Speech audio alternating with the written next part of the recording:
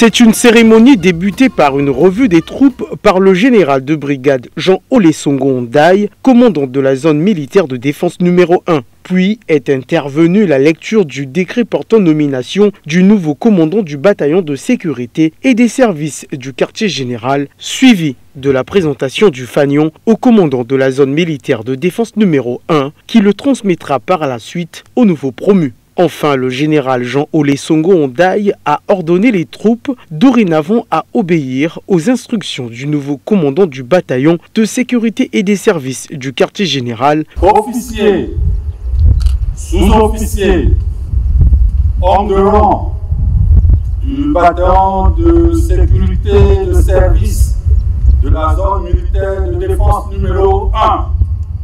À compter de ce jour, reconnaîtrez désormais comme chef et comme commandant de bataillon le lieutenant-colonel Osongo Motito Adam Syriac, ici présent. Vous lui obéirez en tout ce qu'il vous commandera pour l'intérêt du service. Ça des troupes en commandement.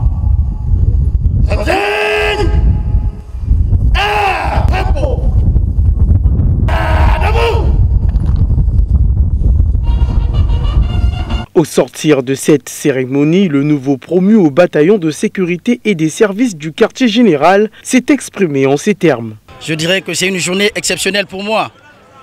Pourquoi? Parce que j'ai marqué un pas dans ma carrière militaire, celle d'être euh, nommé par décret présidentiel aux fonctions de chef de corps.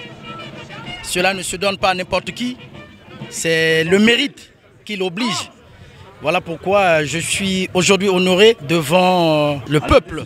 L'honneur et le choix étaient permis pour moi. Euh, je ne pourrais que dire euh, merci tout d'abord au commandement des forces armées congolaises et à mon commandant de la zone militaire de France numéro 1 en particulier. C'est le fruit du rendement, c'est pas chose facile.